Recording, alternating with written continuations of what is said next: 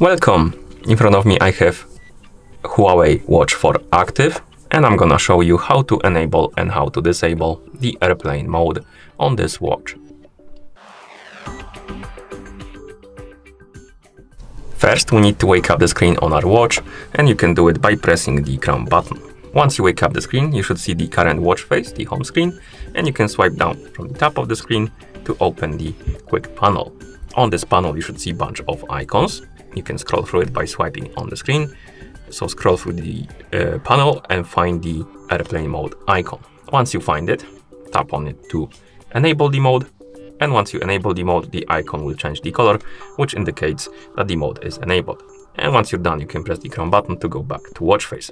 Also, on the watch face, you will see the airplane mode icon, which indicates that the mode is enabled. And if you want to disable it, open the quick panel, scroll up, and tap on the airplane mode icon to disable the mode.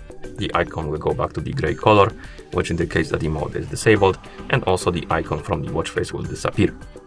And that's how you enable and how you disable the airplane mode on this watch.